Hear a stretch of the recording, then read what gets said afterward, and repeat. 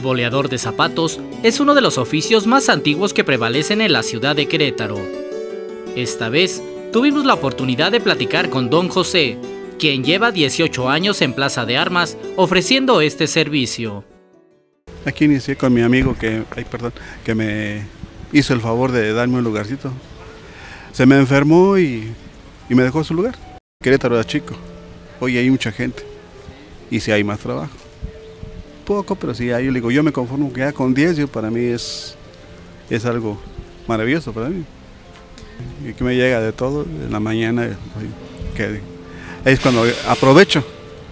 En la tarde ya es un poco más calmado, hasta una o dos horas me espero, pero llegan.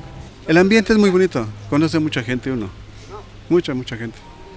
Es lo, que, es lo más bonito, convivir con ellos. Estoy de, ¿cómo se dice? De sábado a lunes, o lunes a sábado.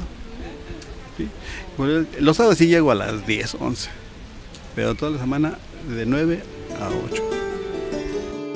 Con este oficio sacó adelante a sus tres hijos y ahora lo hace por satisfacción de seguir atendiendo y conviviendo con las personas. Cuadratín Querétaro.